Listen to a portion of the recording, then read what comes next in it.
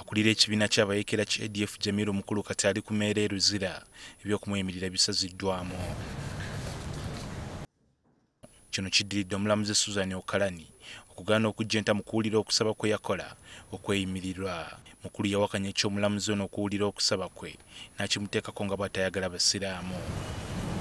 Kati omulamuzi alagidde amyuka omuwandiisi wa kkooti enewozesaba kalintalo okwanguyirizaako okuteekateeka ebyokukozesa mukulu ku misango omuli obutujju obutemu okubbisa emmundu okubeera memba w'ekibiina ky'abatujju Counsel for both parties shall liaise with the Deputy Registrar of the ICD to have High Court case number 001 of 2018 fixed for hearing within one month hereof, since the case is already backlogged. Ng'ayita mu bannamateeka ababa kampuni ya wameri mukulu enkyalo era asabye aggyeyo okusaba kwe yali yakola ku by'okumweyimirira. Oluvannyuma lw'omulamuzi okalani okugaana okuva mu nsonga zino. Mukulu nga wa myaka ataano mu mukaaga amaze mu kkomera emyaka etaano.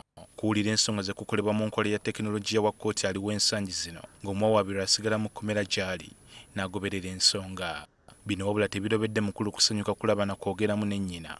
Aisha nakiyembe w'emyaka ensanvu mu ena n'amusaba amusonyiwe bw'aba yina kye yamusobya ng'akyali mwana muto. Nkusaba bwe mba lina kye nakusobya kyonna. Mama wange onsonyiwe tonsobyangako mukulu asabye omulamuzi ayogereko ne maama we. Ono asabye maama we ono mukyala we n'abaana be okwewandiisa n'ekibiina kya national unity platform mu kalulu akajja. Mukulu ono emisango egimuvunaanibwa giriyo mu kkumi na mwenda omusango omukulu gwennyini gwe bavunaana jamiri mukulu ne banna asatu mu omusanvu guteekebwa ku lisiti era guwulirizibwe wadde ng'ekyo kati ffe tugenda kuba nga tukigoberera naye nga kiri mu mikono gya kooti okuba nga etuwa olunaku naye ffe tukyalina instructions okuteekayo okusaba okupya okw'okweyimirirwa nga bwe tukyalina instructions ez'okuteekayo okusaba nti kooti eno ereme kuwozesa kuwuliriza musango guno olw'ensonga nti avunaanibwa jamiru mukulu ne banne baatulugunyizibwa nnyo